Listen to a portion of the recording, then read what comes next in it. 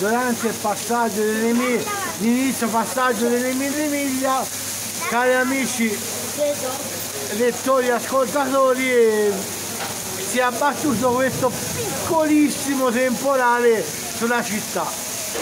Guardate qua le dimensioni del fiume d'acqua che scorre